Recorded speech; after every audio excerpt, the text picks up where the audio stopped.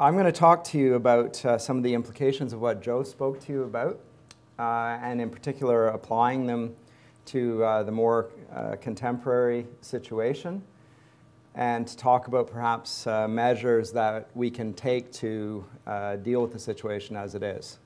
because I think that's part of the sense I thought it was a fantastic presentation, the first one. I'd like to hear it again and again and again. I think we need to share these things. Um, because we've got 60 people here, but we're really, we ought to have 600. Uh, it's such an important issue. Um, but I'm going to talk about that uh, and talk about really the last, I guess, since the probably the 1945 thereabouts. I'm not sure the exact date, but I want to talk about the institutional separation of Canada's public education from the Christian faith. And that's not uh, something that began recently. It happened many, many decades ago. Uh, at the academy level, at the university level, uh, most of you will know that Canada's universities, with, with very few exceptions, in fact, I can't even think of one, began as confessional institutions. So the University of Toronto was an Anglican one. Uh, Western was Anglican, McMaster was Baptist. McGill was Presbyterian, Waterloo Lutheran, uh, Queens was Presbyterian, and so on and so on. Um, well, the, the break from those confessional roots took place mid 20th century at various points. Um, and that was the beginning, really, at least, of the visible departure of the Christian faith from the academy. That's the visible departure. I think it, Joe suggested reasons why uh, the seeds of that destruction were already sown there from the beginning, and I think that's actually true. And actually, that my doctoral thesis does, to some extent, chart the decline all the way back in the middle, uh, the early 19th century, with Romanticism and so forth. And the modern university, which in Berlin, the university began in theology, was banished from the university altogether and that began the Bible college movement and so forth. So, but that, that's really the time period, and of course, that's when public education began. So it's a serious problem, and it's been going on for centuries. But we're seeing the effect now so that nobody can deny it. Now nobody really can deny it. It's, it's, it's simply obvious. Uh, to choose one example of the continued dying of the light, uh, in 1990, all overt forms of religiosity, uh, such as prayer and Bible re reading, were removed from the Ontario public school system. Um, and this was ironic. It's an irony that we uh, feel rather poignantly, um, but it's to promote tolerance and uh, a principled separation of church and state. In order to do that, they want to remove the last vestiges of the Christian faith, which is really, as Joe uh, told us, part of the status quo of public education in Canada. Uh, that would no longer be tolerated. The foundation upon which public education was laid, would, that would no longer be tolerated. We can't do that. We have to remove it in the name of tolerance. There were objections at the time, 1990, at least so I understand. I was in the fourth year of my undergraduate degree at the time. I wasn't a Christian. Uh, if they were allowed, they didn't register with me. I have no memory of it. Uh, and I did follow the papers at the time. So I, maybe there was more of a protest than I am aware of, but I don't think so. I don't think it was particularly loud. It certainly wasn't very effective. Um, why that happened, I would also have to speculate on. Uh, we were talking about this at the table, and it's something that I've long pondered. Is it because um, we understood ourselves as Canadians to be uh, wanting to be multicultural, and this would express that understanding by not insisting on our way, and we don't want to uh, make people who are new Canadians uncomfortable. Is it for that reason? Is it because of a, a 20th century uh, despair in the church? Um, you know, uh, theologies about uh, the end times that uh, people thought, well, we don't need to stick in the public education. Education is really not what the church is about. The church is about evangelism, saving souls. Is it because of that? I, I don't know. But you can see why it would fit into that uh, idea. Um, maybe it was thought that the, the, the church could itself supply uh, the needs of Christians. So on Sunday, in your Sunday school classes, you'll get instruction in the faith, and then they'll be, it'll be done at home. Um, maybe even there was some that saw very optimistically that their children could be salt and light in the schools. Using the very same passage Joe talked about, uh, you know, the little children witnessing um, to their teachers, standing, uh, as it were, in the place of the evangelist. I don't know what the logic of it is, but I've heard all of these things before. Uh, even now, by those who have their kids in the public school system, this is the excuse that variations on these are still out there. So it must have something to do with that at any rate. But most recently, what we've been talking about today in the Ontario curriculum, uh, these new equity and inclusivity policies have followed on their heels. I think most Christians uh, have had a really not a kingdom perspective, but a two kingdoms perspective. And it's to some extent live and let live. Christians have their views, and uh, those that aren't Christian have their views, and we're going to live and let live. We'll tolerate them on that. What they haven't recognized, which we now know, uh, and nobody is disputing at the moment, suddenly, is that they're not going to live and let live. They have a kingdom theology which will say that you must uh, bow to Caesar on these issues. They have a different view of tolerance than we do. Uh, so, what we euphemistically uh, call alternative sexualities have now been normalized. That's the norm. If you don't embrace these, you're abnormal. That means Christians are abnormal. You, you've created a, yourself as a new breed of humanity, and there's something subhuman about the Christian. Something contemptible, something that needs to be put behind us, something that needs to be evolved away from. It fits in with the evolutionary uh, theology and psychology that's in the, the public school curriculum. And they are threatening their opponents with prosecution if they use what they call hate speech, which is, according to their definition, just applying a different moral judgment in public than the one they now declared to be the public view. They declare to be the public view. I'm not saying it is the public view, but they say it's public policy. Part of Canadian identity, even. Although it's not just in Canada, We've seen the same thing in the United States. And the word homophobia is now used, uh, not as it was originally in the 1960s. It was first used in the 1960s, by the way. My research. I'm not you know, I haven't done an exhaustive study of this, but first uh, crops up in the 1960s. It describes uh, someone who feared he might be considered a homosexual and so wanted to distance, distance himself from that appearance. I don't want to be perceived to be a homosexual. That's my phobia. Now it means somebody who thinks that homosexuality is a sin. So there's a huge semantic shift in what we understand by somebody who's a homophobe. I always think, I, I don't even understand what you're talking about. I don't fear uh, homosexuality in the sense that you're talking about. It just makes no sense. Well, I'll get to that in a second as well. But alarm bells are ringing as we see the fulfillment of the warning made almost 60 years ago. In fact, I think it is 60 years ago now by uh, Hilda Neatby, uh, who's an academic historian and a member of the first, very first Massey Commission. Uh, she said that in the public system, and I quote, even those areas still termed democratic are losing the freedom which gives meaning to democracy because they are losing that sense of direction which gives meaning to freedom. So freedom has no direction say, per se. They're losing the gospel, in other words. Now, she doesn't articulate this very clearly. I think it's because she's a product of the public system and she's adopting the language of the Enlightenment to persuade her audience. We can understand that. We all speak uh, with the, the, language of the Academy for Christians, and then we speak as Christians over here, we speak with two tongues. In that sense, if you're a professional academic, then you're required to adopt the terminology of the Guild and acceptance and all that, and understanding and so forth. But at this point, freedom is now being lost in the name of democracy, she says. And for Dr. Neatby, and this is 60 years ago, as for many of her generation, this would have meant the necessary orientation of all true education towards Jesus Christ.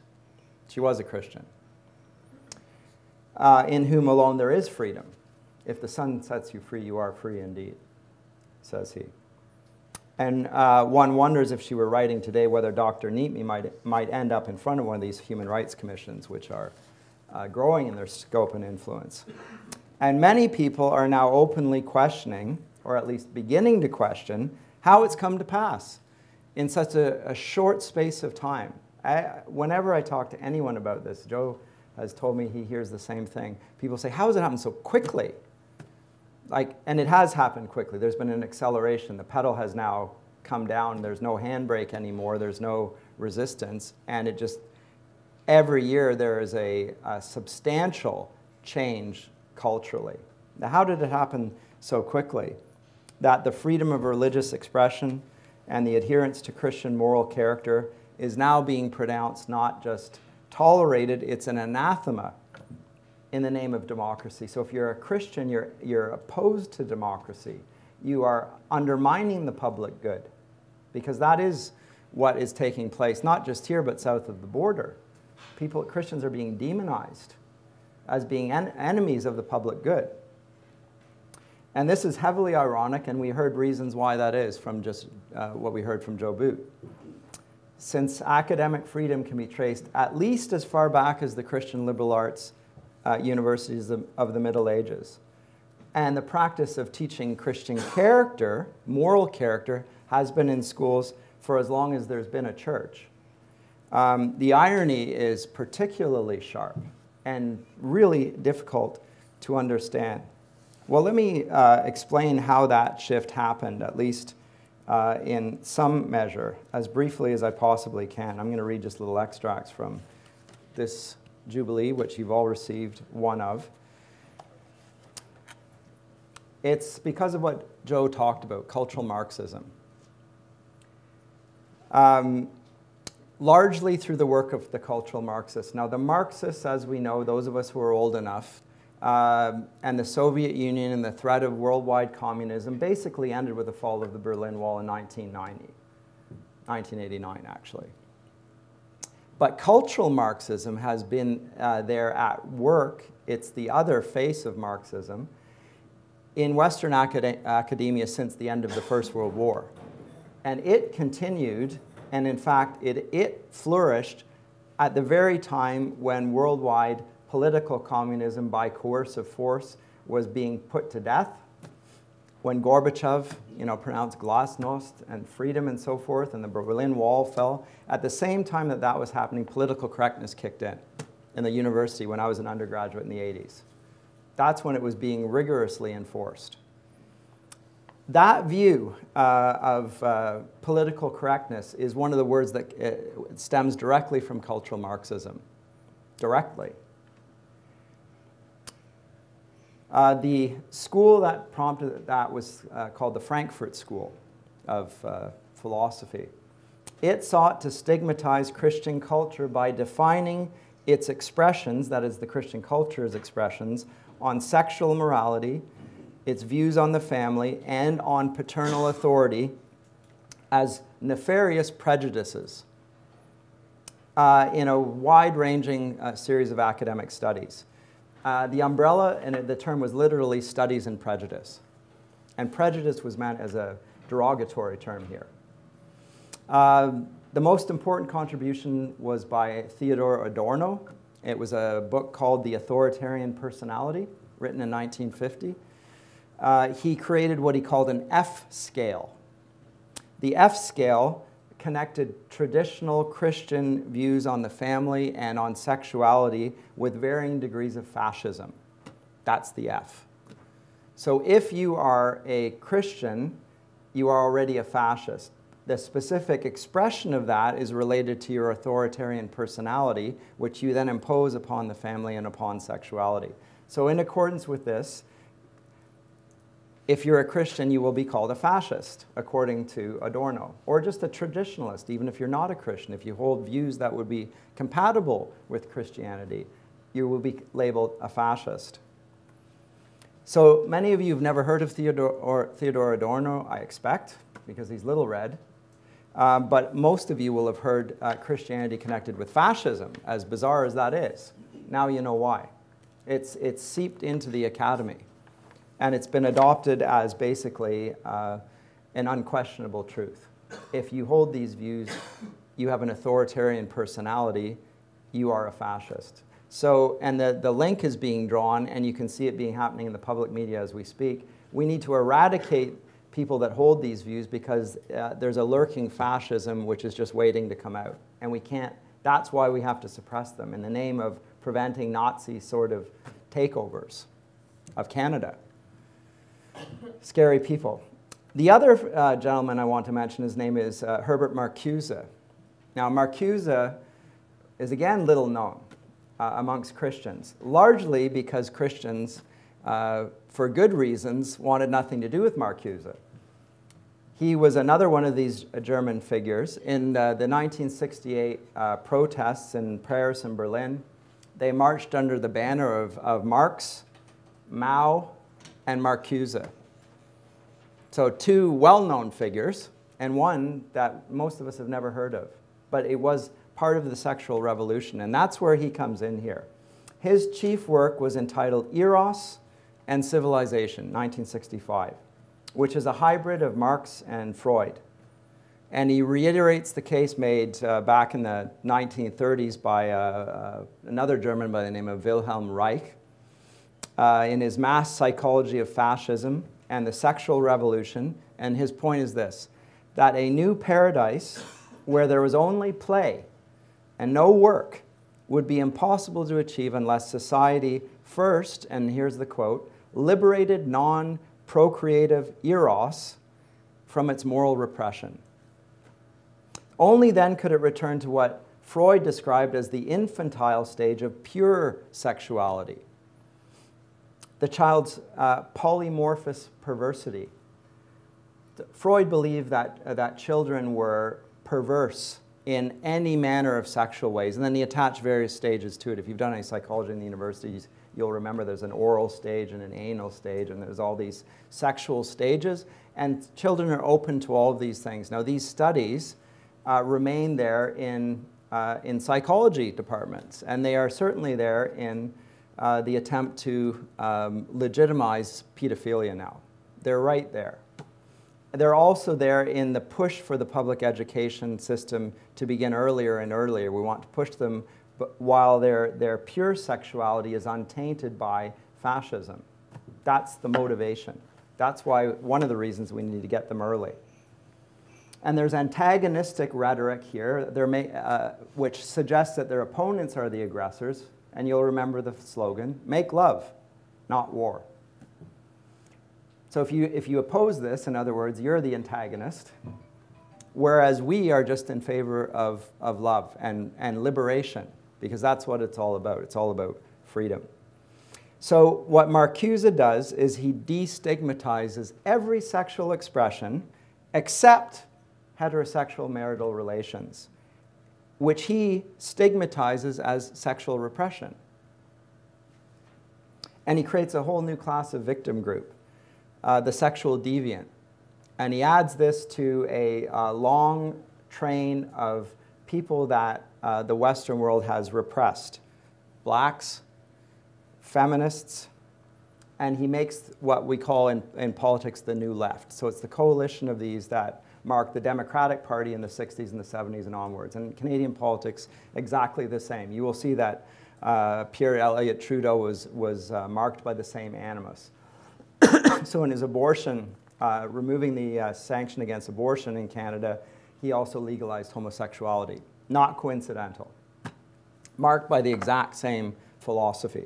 He is a cultural Marxist. His son, even more so. Just further down the road. Justin Trudeau would have no room in his party for his father. That just shows how far the march of the left has gone now in politics. Now, that's just the, the uh, Liberal Party. You will find the exact same uh, sentiments in the Conservative Party as well. They're just a little bit further behind. and they don't want to get too far behind lest they be labeled fascists. Labeling has strong uh, power. Well, how is this so effective, though? We can see how it happens in the. Uh, we can see it effectively now, but on the other hand, why do Christians buy into this stuff? How is that possible? That's to some extent my question. How is it possible that Christians should buy this? because it's just nonsense. And it's, it's manifest nonsense. It's, it's manipulating language, and you can actually see it. Well, how is it that uh, these absurd caricatures of Christians being presented in the media now, uh, where um, young adults portray Christians as victimizing them and require government protection for their religious freedoms, uh, arguing that their true goal is to ban gay men from sitting at the local lunch counter or from buying flowers or something like that. As if Christians didn't, you know, really were not willing to even sit beside you in the plane. Uh, you don't want to touch a gay person. We hate gay people. How did that happen? Because it's happening south of the border as we speak. It's, it's really uh, blown up in quite an extraordinary way. How is that possible for that to take hold and not just from above but from below? Because it's the young people that are pushing this, as everyone recognizes. Well, the answer is uh, social studies. That's how. Social studies. Uh, those who were given social studies courses in their schools, which we all were, many of us under the guise of history, actually. We were taught social studies instead of history. There is a significant difference there, by the way. I'm not going to get into that difference. But social studies is taught as history now, and in general, social studies learns about uh, movements of emancipation. It creates straw men of history. So it, first of all, there's the idea of the authoritarian male, which kept women down. And then there's the women's rights movement, in which that was thrown off. And then there's the civil rights movement, in, which, in which the blacks uh, threw off the yoke of the whites, the anti-slavery movement. All of which, here in this case, have a grain of truth to them as well. It's not that there's no substance to it. My point here is that they create the narrative of history being a series of emancipation from unjust oppression. And the latest installment of that is the LGBT agenda. They've connected their uh, hermeneutic directly to that same uh, agenda of liberation. But it's, it's, it's demonstrably uh, disconnected from it because, again, you can't choose but to be black. And you can't choose but to be a woman, at least not until recently. And now you can. Well, now you can do everything. You can say that I'm standing on my head, not my feet. And like, like everything's turned upside down. Okay, so, but aside from that, you can't, you can't really be anything other than what your skin color and your, your sex, sex is. I'm male or I'm female. So how does that fit with, uh, with the LGBT choices? Because there I can also choose not to do them. So it's something I can actually choose not to do. There is choice there in it. Well, I, don't, I think it's partly, first of all, because the education is so terrible now that people don't tolerate logic.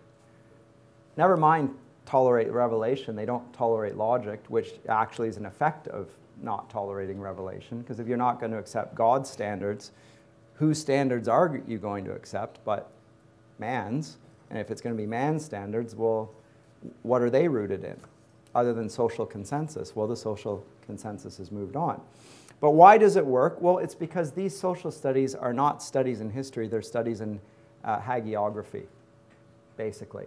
These are the saints of our days, right? That's what kids are being presented as.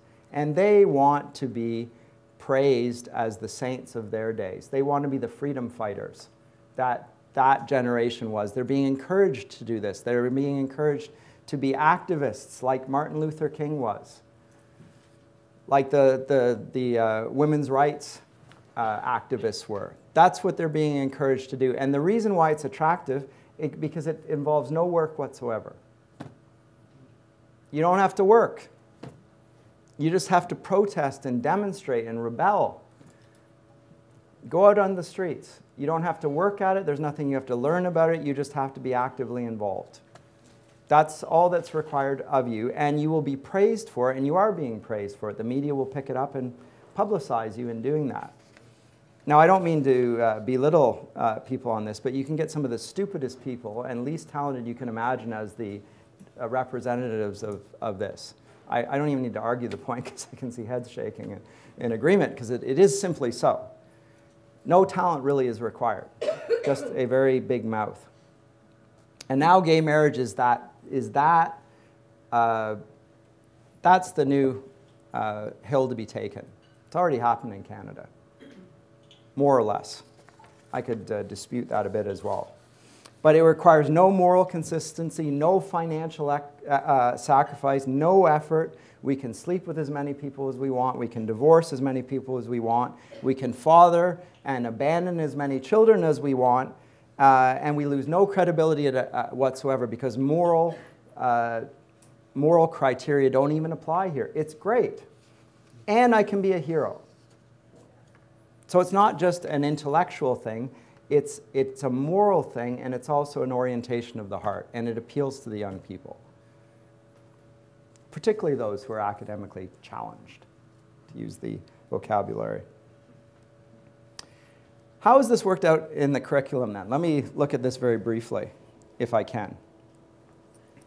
I'm going to use uh, another institution's website on this.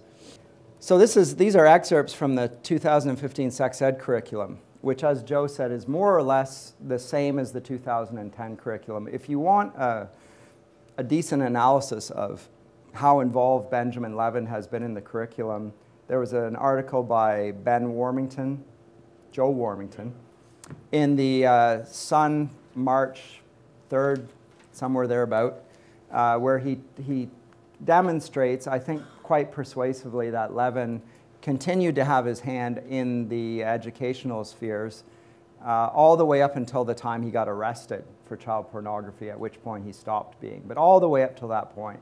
So even past the time uh, where he was part of the transition team, he was still being consulted on major decisions. And he was the architect of the 2010 curriculum. There's no doubt about it. He's the, he's the deputy minister, he's a Canada Research Chair, um, and the deputy minister is the, is the professional on that. The minister just, you know, that's the public face of it. He's the one who was responsible for it. There's no doubt about it. That's what deputy ministers do. Everyone knows that. Uh, grade one, genitalia and consent.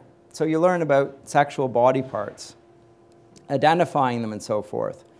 Uh, both of them have promised that teaching of, quote, enthusiastic sexual consent, that is, Kathleen Wynne and her education minister, Liz, Liz Sandals.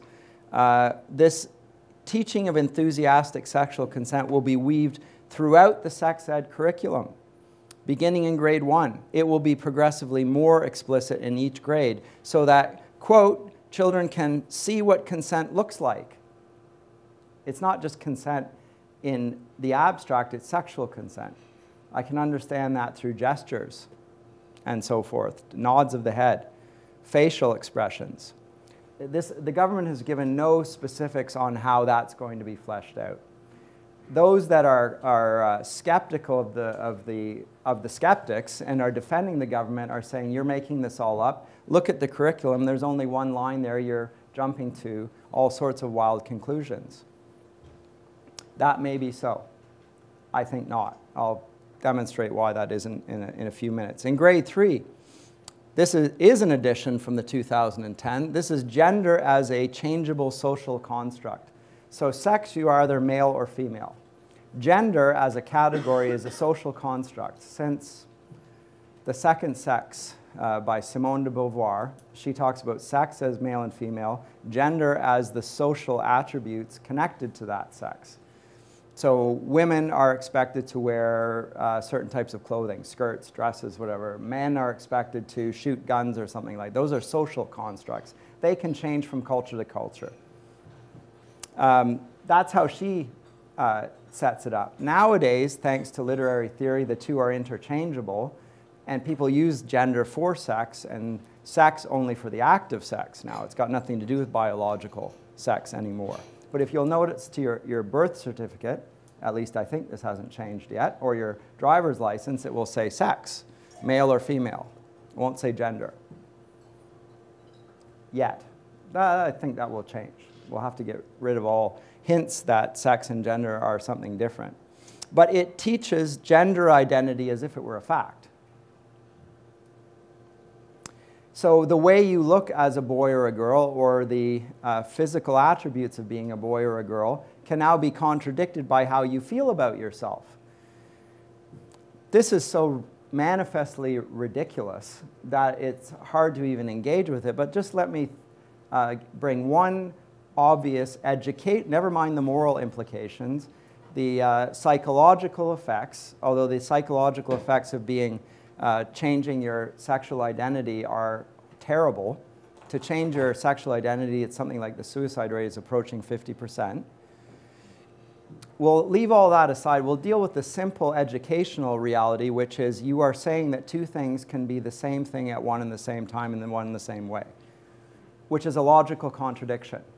It's a logical fallacy. Well, if that's at the heart of the sex ed curriculum, then education, as Joe said, is no longer even a, a concern of this curriculum. Because you're introducing a logical fallacy, and the implications of that are obvious to every child. And the uh, implications which every child will take away from it is that actually I'm not here to be educated, I'm just here to do what the people who are teaching me want me to do.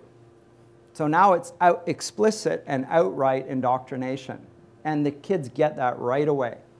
What that means is they don't have to study hard, and they don't have to work, and they can sexually experiment, and they will be rewarded for it as the new saints. They will be praised for it. In fact, that's what their teachers are supposed to do, is to make them enthusiastic about it. When I hear people uh, speak against this, particularly those who claim to be Christians, I think that they have had a lobotomy. I, I, hesitate to name names because you can actually come to your own conclusions on this. But if you cannot see the problem with the sex, sex and gender uh, connection here, then you can't think. You simply can't think. That's just my uh, primary objection. I could say worse things. But you cannot think. You're also introduced to homosexuality in grade three. I don't, most of us have no idea of anything like this when we were that age. We didn't think about such things. But it's introduced. Now, remember, consent underlies the whole program from the beginning. So that's the initial step. And the key one is to introduce the idea of consent. And then everything that follows along to it, you have to consent to it. And now this, and now this, and now this, and now that. So they're going to normalize homosexual family structures and the homosexual marriage in the minds of eight-year-olds. Doesn't matter what the families think on this. Some will say that you can opt out of this curriculum. I'll address that a little later on. Because in practice, that's not happening. Uh, in grade four, they're introducing the idea of romantic dating. Grade six, masturbation. Grade seven, anal intercourse and oral sex. All of these things we'll talk about practices uh, without considering the consequences, never mind morally, even physically. The physical consequences of, of anal sex and the incidence of sexually transmitted infections are off the charts for anal intercourse. It's not even mentioned in the curriculum. This is a health curriculum. How can it not be even discussed on those terms? Not even discussed. Uh, at this point, I think the government is actually legally liable if something does result from this. So if there's a demonstrated cause and effect, I think the government, and that means we, the taxpayer, are on the hook for this. And ought to be. And then grade eight, you can make a personal plan about your sexual activity. So write your own plan for conquest and uh, sainthood. Write it up. Here's what you want to do. So some say you can opt out of this curriculum. And there are forms there where you can do exactly that. So if you're a Protestant, if you're a Catholic, you can choose to opt out. You click on it, there's a form for it. In practice, people are being refused this already. And incidentally, all of the alarmist statements I'm making here, which are not alarmist, they're just alarming, uh, can be verified because the, this curriculum is already operational in the Toronto District School Board. It's already there. And they promote this here, and I'll just use a few of the posters that'll give you a taste and flavor of what's going on here. Some of you have seen these before. These were taken from the TDSB website before they took them down when they got backlash. I fortunately captured them and they're on my hard drive. You might struggle to find these now, although the posters are probably still in the schools. But this one is Love Has No Gender. And it has no number because there's also threesomes there and so forth. This one is uh, safe and positive spaces. We're here, we're queer, we're in your school. We got multicolored fish swimming in opposite directions. Swim whatever direction you want, according to whatever sort of fish you are, and you can change whatever sort of fish you are. This one is that there are no rules for being a boy or a girl. That in the middle here, you probably can't see it, is a little boy with an orange wig sitting on a pumpkin with pink long leather boots, I believe. And there are others there, a little uh, black boy wearing a tutu, a pink tutu, and so forth. It says, When we respect each other for who we are, there isn't anything we can't do. Name calling hurts, shaming hurts, stereotypes hurt, as if they're not stereotyping. Because they're not, they're just doing what's natural, right? Begs the question of what nature is, which they never answer because they can't answer it.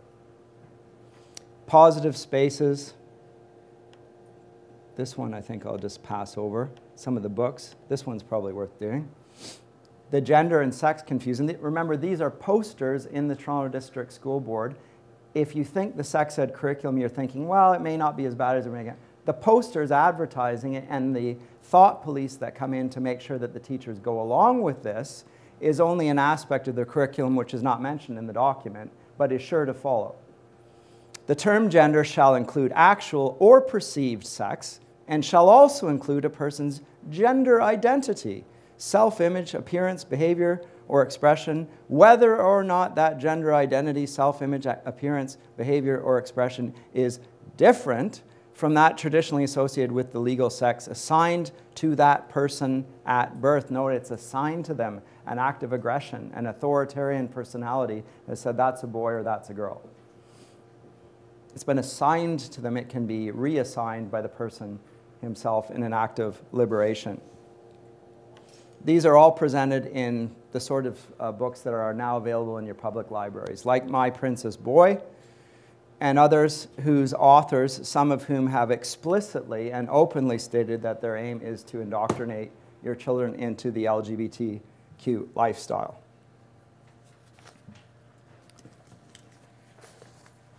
So now it's uh, readily apparent to anyone who pays attention what's going on among today's youth and what's coming. Uh, a study entitled Hemorrhaging Faith came out in 2011. Have you heard of this? According to that report, only one in 10 young adults in the Roman Catholic and the mainline Protestant churches who attended church at least weekly as a child still do so today. That's one in 10 if you're an evangelical, it's clear that there are more people leaving than staying. So, four in 10 young adults who attended church at least weekly as a child still do so today. All in all, include them all, 70% approximately of young adults are leaving the church. So, it's abundantly clear for those who are keeping their kids in the public school system, and that's largely the case. It's not exclusively the case. It will also be through the Christian schools who are often using the public school curriculum. That their children are not being salt and light, they're being lambs to the slaughter, and there's no atonement in this. Now, their parents have naively assumed that the school is just like it was when they were young, because they went to public school. I went to public school. It ain't so. It ain't so. What we can see is that Western civilization has undergone a top to bottom reversals now people see themselves as fundamentally sexual creatures, not people made in the image of God. In the new view of the human person, we are sexual creatures first, which this curriculum teaches. This is a religious indoctrination. It's not just about sex education. We're first and foremost sexual beings, not religious ones. Any Christian ought to oppose this idea. We're made to worship God and enjoy Him forever. That's what we're created for. This says that we're made for sex. This teaching has seeped into the churches as well and has been permitted ever since no fault divorce was accepted. That's when the barricades were overcome in the church. And now we push back on the gay agenda because now the consequences are obvious. But there, how many pastors have been speaking against divorce? And for how long? This will make for some squirming in seats. Loyalty to sexual autonomy is demanded of everyone. just as much as loyalty to orthodoxy was demanded by the historic church. So we do have a, a, uh, a church in the state. It's the state church, which is the public education system and its curriculum. One of my favorite movies uh, is an adaptation of a play by Robert Bolt. It's called A Man for All Seasons.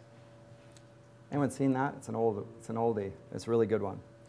Um, I think it was made in 1967. I encountered it when I was in grade 13. Uh, it's about Thomas More, the Catholic saint. It centers around his refusal to violate his conscience by agreeing to the dissolution of Henry VIII's marriage. It presents, uh, it's a hagiography, really, is what the movie is about. And if you know anything about Thomas More, it really is a hagiography because he's not actually as great. But, but here he's presented just as a saintly man. Leave that aside. I think it's a compelling uh, story. And he lived in the day when to make any assertion against the king and the self proclaimed head of the Church of England was to be accused of treason immediately. Now, this is a capital offense. Off with your head. He was. Uh, uh, despite the fact that he made no assertion of, uh, against anyone, least of all, or least of all the king, he was still accused of treason. Uh, the famous trial scene at the end of this movie has him being interrogated by a prosecutor, claiming that although he, Thomas More, had never said anything about his views to anyone, everyone in England knew what he thought. Everyone knows what he thought. Of all the people who haven't spoken in England, no one has spoken more loudly than Thomas More with his silence. And Thomas More, the consummate lawyer, says, Not so, not so. The silence is qui tacet consentit. The, the maxim of the law is that silence gives consent. If therefore you wish to construe what, I, what my silence betokens, you must construe that I consented, says More. So if I don't say anything, I agree to it. Let's apply that now. Very different social and cultural situation. We don't live in an age of monarchy where the head of state is also the head of the national church, although I've just talked about the sex ed curriculum and how it's an expression of that. But we still live in a democracy. We still, uh, largely thanks to the Reformation, have a separation of powers, at least uh, in theory. There is a defined role for the state, still, just. There's a defined role and authority for the church, and there's an area of sovereign authority for the family. It's enshrined in our laws. Well, at least since the time of Plato, this has been under assault. Uh, since Plato, philosophers have argued that parents are naturally unfit to educate their children. There's always been a push from the uh, experts, the philosopher kings, to take the role of parents from them. Plato had no children, of course, unsurprisingly. One of his great admirers, Rousseau, the Enlightenment philosopher, whose ideas actually ground modern education theory, he's a romantic. Uh, he was so enamored with the idea that the state should take responsibility in administering social justice and taking care of kids that he absolved himself of all parental responsibility. He had five kids out of wedlock and he stuck them all in orphanages. He was a true believer in the state, uh, the goodness of the state. He can be as irresponsible as he wants, and that's his way of affirming the state's power. Scandalous character. The liberals love him. In his 1935 BBC radio debate with another educator, a statist, philosopher, Bertrand Russell, some of you have read his History of Western Philosophy. Uh, G.K. Chesterton wryly retorted to this claim that the, uh, uh, the state knows best, what every reasonable person uh, recognizes, which is that uh, the immoral example of uh, exceptional men like Rousseau proves the rule, which is that parents know best about what's the, the welfare of their children is. The parents know the best. There are bad parents, we recognize that. In our day, there are a lot of bad parents. The remedy is not to get rid of parenthood. That's not the remedy. That's a further decline. To absolve parenthood altogether and parental responsibility is to destroy society from its foundations. Well, the statists won out for a while, actually. It happened during the Second World War. The intervention of the Second World War and the rise of communism settled the matter. And the statist side, we had the Hitler Youth. In communist uh, countries, we had uh, men and women being pushed into the workforce, their children being left to be educated by the state. Their brief success led to a pushback by the UN of all agencies. I don't trust the UN for very much. The UN pushed back on this. They came in 1948 with Article 26 of the Declaration of Human Rights. They declared that parents had, and I quote, a prior right to choose the kind of education that shall be given to their children. It's their right first, and it remains their right. If it's the first right, it's not one that can be taken away from them. Now, that's the UN speaking collectively against the fascists and the communists. It's a hedge of protection. we could call into a, another argument here. This is, by the way, from uh, an article I wrote in the National Post in uh, response to Michael Coren, incidentally. Um, by Cambridge anthropologist J.D. Unwin. He wrote a work in 1934 called Sex and Culture, right around the time when Wilhelm Reich was writing his work on sex.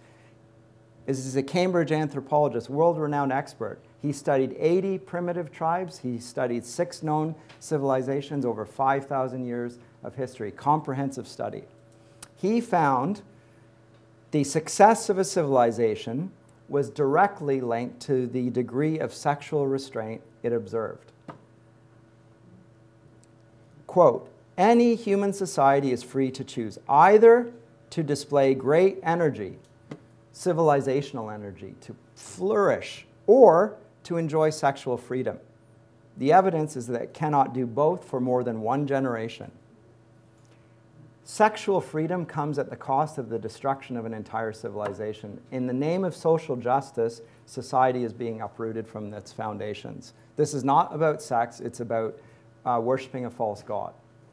And the inevitable why do we have abortion being promoted by gay marriage advocates? Why are these two linked? They're both anti life, that's why. Sex is attached to something very different. So, worship of their own procreative powers. So, the life or death of a civilization, which is at stake in the Christian teaching of natural sexual monogamy, which is a moral conviction and social institution that Unwin observed common to all flourishing cultures, would have been a powerful argument in favor of teaching that the family, mom and dad, are essential to the health of an individual.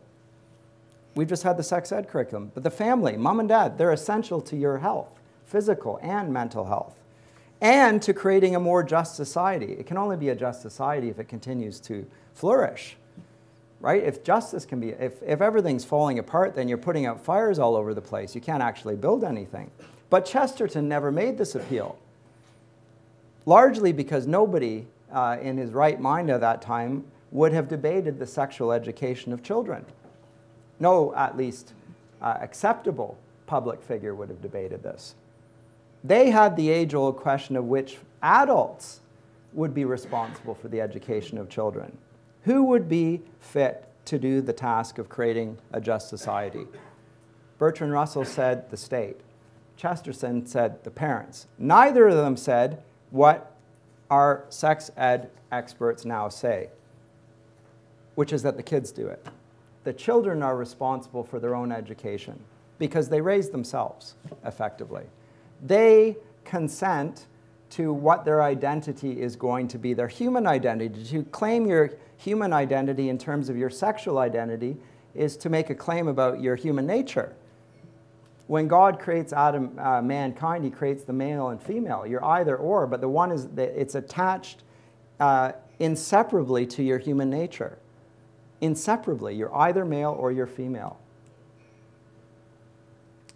So the convictions of this curriculum, which I've just briefly traced, are not liberating, they're destructive. The debate is, as ever, between the parental and the state jurisdiction in creating a just society. And you will hear the critics of people like me attacking us for precisely you know, being simple-minded, alarmist, etc., as if it were a matter of, well, they don't want them to talk about penises. Well, guess what? They're going to learn about talking about penises. Nobody is worried about that per se, actually. I've never heard anyone make that claim. They're worried about the stuff that I picked out, And the general thrust of the curriculum. But as I say, at the heart of the Ontario Sex Ed curriculum is the perverse claim that children raise themselves. Now, this is explicit from the very outset, as we saw. At the age of six, the age of teaching of sexual consent is there. Now, to teach children what consent means, even in the rudimentary terms that Kathleen Wynne has given, which is when she was asked by the CBC about it, well, it's about reading facial expressions and emotions. To assume that is to assume that they have the capacity the moral capacity to understand what they're learning. And we know that this is, cannot be because the legal age of consent is 16 or 18, which is, goes with being an adult. You have to be morally responsible if you're going to have a just society, right? By six years of age, the human eye has not even fully developed. The eye that's looking at the facial gestures and reading sexual consent hasn't even fully developed. It's not only that she doesn't understand education, she has nothing, she has no knowledge about anything, I would say. And Ben Levin is a demonstrable pervert. He's about to be convicted. Either two years or three and a half. That's what they're debating now. He's going to be convicted. By the way, this is the uh, eye development is historically why children start their education in their seventh year because that's when they can concentrate. You'll note this. Now, the intent of the word consent is related to sexual identity. I get that. But they have given it a legal jurisdiction and are imposing it with the rule of law and saying to violate this is a matter of law. Well, the critics of this curriculum are absolutely right because this is nothing other than an experiment on children. It's an experiment on children as lab rats. The document does not consider love, it doesn't consider marriage, it doesn't mention either of them in the whole 100, 244 pages of this infamous document, which I urge everyone to oppose as strongly as you possibly can. It speaks of sex in consumerist terms of choice. There's no moral, there's no religious, there's no social consequences. There might be some health consequences, but we don't want to get into the specifics there. It doesn't consider that the demonstrably bad health consequences of homosexuality are, again, off the charts. This does not teach at all. It's not the teaching of a just society, it's a perverted individualism. Perverted. It separates their children from their parents. It separates them from the very idea that one day they're going to be parents and they're going to be responsible. There's no responsibility here. There's freedom without any responsibility. Well, that's not freedom at all it's exploitation. If there's nothing that limits your responsibility or your freedom, then what is your definition of freedom? It has no definition, anything goes. Again, this is just logic. It is being imposed on the only people in Ontario whose consent is actually required, which is the parents. My question to you is whether your own conscience will permit you to consent to having this curriculum foisted not just on your own children or your own grandchildren, but on the children that you see all around you, walking in your churches, walking around on the streets? Or are you going to be silent?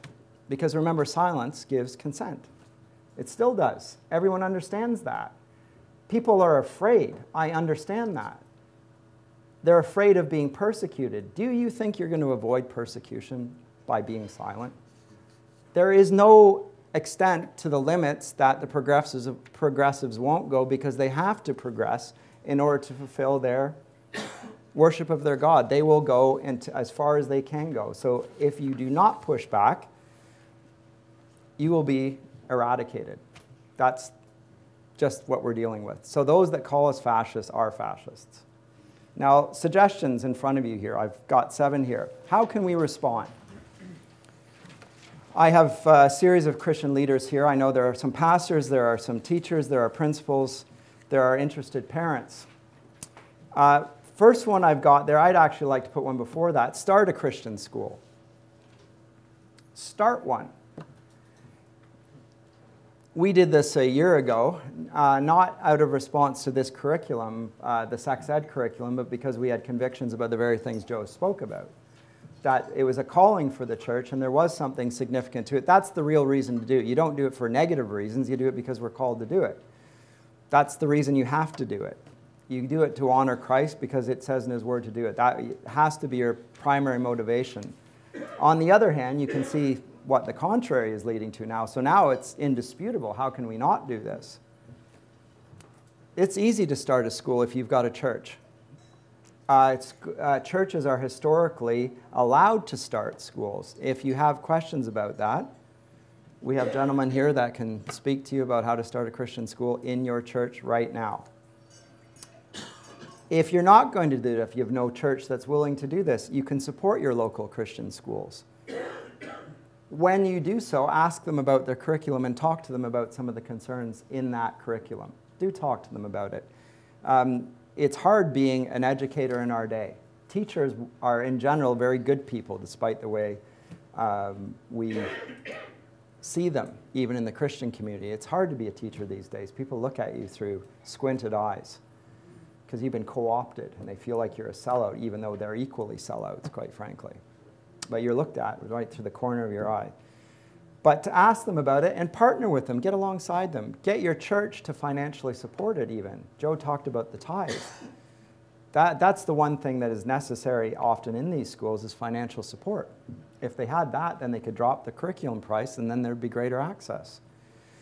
Uh, secondly, organize information meetings about the curriculum in your local churches and community centers. I have had people speak to me, and I know Joe's received the same, who aren't even Christians telling me that they can't find a Christian that's willing to talk about this. It's a shame. I was at a rally yesterday and they were shouting out shame at the curriculum. And I was one of the few Christians there, and I couldn't help thinking that they were shouting at the Christians shame as well because they were silent. It's shame. It's a disgrace. It's a scandal. So organize these, offer them up. Uh, people will actually be attracted by the Christian faith. We need to have trust in what the Word of God tells us about the gospel. It's appealing to people. Believe me, there are people out there that want to hear the good news. They're coming, they're looking to you. They're saying, Where is the church? Reach out to them. There are actually now uh, concerned parents groups surrounding this curriculum. Some of them are, are Christians, Many of them are not. They're first generation Canadians. And they thought they were moving to a Christian country. They genuinely did. And they're shocked. Where are the Christians? Open your churches to them. You could offer a homeschooling consortia to them in this September. Just offer your space to it if the cost of education is an issue. That brings them into your doors. It shows that you care about their children. If this isn't evangelism, then I don't even know what you think evangelism is. Because we just heard about the little child being the model of the disciple and why the children will be, that's the future. That's your evangelism field. We need church, not church planting movements, but school planting movements. That is the church and its mandate. So, huge evangelism opportunity. If you're a pastor here, start up a school at least let people use the space. You're going to have to oversee it and so forth, but by all means. Uh, fourthly, speak to your local MPPs. Go in numbers. Don't go by one at a time because they'll talk to you and they'll placate you and they'll ignore you.